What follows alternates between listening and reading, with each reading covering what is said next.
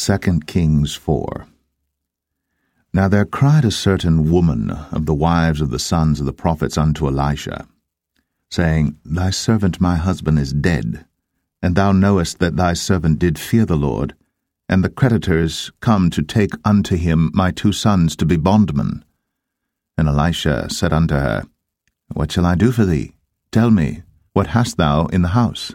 And she said, Thine handmaid hath not anything in the house, save a pot of oil.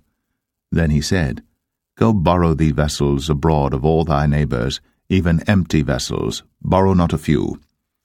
And when thou art come in, thou shalt shut the door upon thee and upon thy sons, and shalt pour out into all those vessels, and thou shalt set aside that which is full. So she went from him, and shut the door upon her and upon her sons, who brought the vessels to her, and she poured out. And it came to pass, when the vessels were full, that she said unto her son, Bring me yet a vessel. And he said unto her, There is not a vessel more. And the oil stayed. Then she came and told the man of God, and he said, Go sell the oil, and pay thy debt, and live thou and thy children of the rest. And it fell on a day that Elisha passed to Shunem, where was a great woman, and she constrained him to eat bread, and so it was that as oft as he passed by, he turned in thither to eat bread. And she said unto her husband, Behold now, I perceive that this is an holy man of God, which passeth by us continually. Let us make a little chamber, I pray thee, on the wall, and let us set for him there a bed, and a table, and a stool, and a candlestick. And it shall be, when he cometh to us, that he shall turn in thither. And it fell on a day that he came thither. And he turned into the chamber, and lay there. And he said to Gehazi his servant, Call this Shunammite. And when he had called her, she stood before him. And he said unto him, Say now unto her, Behold, thou hast been careful for us with all this care. What is to be done for thee? Wouldst thou be spoken for to the king or to the captain of the host? And she answered, I dwell among mine own people. And he said, what then is to be done for her? And Gehazi answered, Verily, she hath no child, and her husband is old. And he said, Call her. And when he had called her, she stood in the door, and he said, About this season, according to the time of life, thou shalt embrace a son. And she said, Nay, my lord, thou man of God, do not lie unto thine handmaid. And the woman conceived, and bare a son at that season that Elisha had said unto her according to the time of life. And when the child was grown, it fell in a day that he went out to his father to the reapers. And he said unto his father, My head, my head. And he said to a lad, Carry him to his mother. And when he had taken him, and brought him to his mother, he sat on her knees till noon, and then died.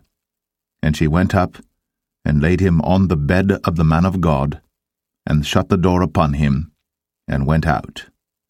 And she called unto her husband and said, Send me, I pray thee, one of the young men, and one of the asses, that I may run to the man of God, and come again. And he said, Wherefore wilt thou go to him today? It is neither new moon nor Sabbath. And she said, It shall be well. Then she saddled an ass, and said to her servant, Drive, and go forward. Slack not thy riding for me, except I bid thee. So she went, and came unto the man of God to Mount Carmel. And it came to pass, when the man of God saw her afar off, that he said to Gehazi his servant, Behold, yonder is that Shunammite. Run now, I pray thee, to meet her, and say unto her, Is it well with thee? Is it well with thy husband? Is it well with the child? And she answered, It is well. And when she came to the man of God to the hill, she caught him by the feet. But Gehazi came near to thrust her away. And the man of God said, Let her alone, for her soul is vexed within her. And the Lord hath hid it from me, and hath not told me. Then she said, Did I desire a son of my Lord? Did I not say, Do not deceive me? Then he said to Gehazi, Gird up thy loins, and take my staff in thine hand, and go thy way.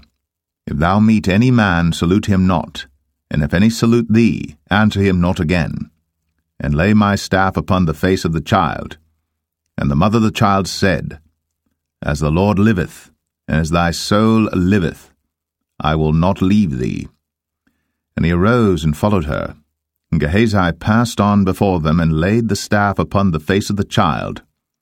But there was neither voice nor hearing. Wherefore he went again to meet him, and told him, saying, The child is not awaked. And when Elisha was come into the house, behold, the child was dead, and laid upon his bed.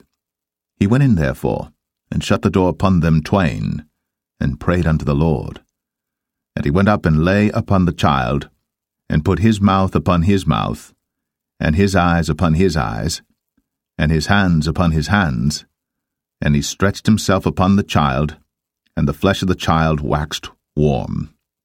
Then he returned, and walked in the house to and fro, and went up and stretched himself upon him, and the child sneezed seven times.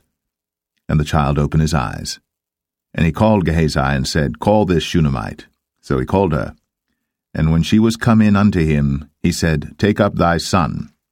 Then she went in, and fell at his feet, and bowed herself to the ground, and took up her son, and went out.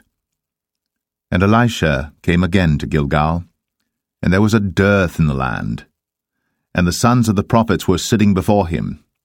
And he said unto his servant, Set on the great pot, and seethe pottage for the sons of the prophets. And one went out into the field to gather herbs, and found a wild vine, and gathered thereof wild gourds his lapful, and came and shred them into the pot of pottage, for they knew them not.